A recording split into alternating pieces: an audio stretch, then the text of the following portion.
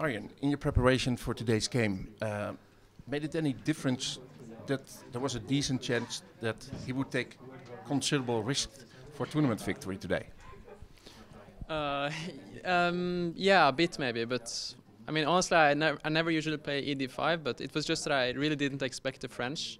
Mm -hmm. uh, my second told me he will never play the French.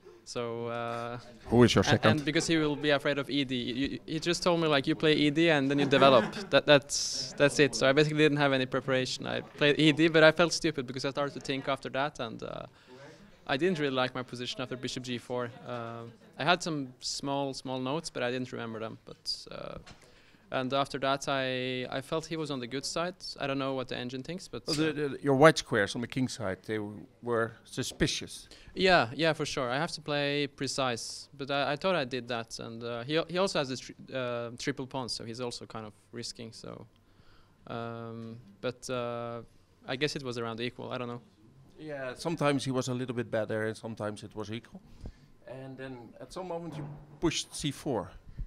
Why was that? I was very happy about c4 because uh, then I get counterplay, you know. Because before that I was kind of passive and he was uh, like leading the game. But when I play c4, I'm threatening to become active, and uh, then I thought maybe even I can be on the good side. I don't know, but uh, I was very happy about that. And then he was also low on time.